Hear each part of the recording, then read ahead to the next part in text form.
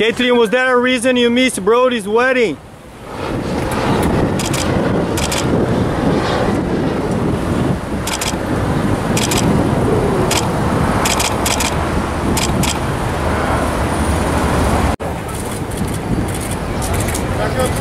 Caitlyn, why did you miss Brody's wedding?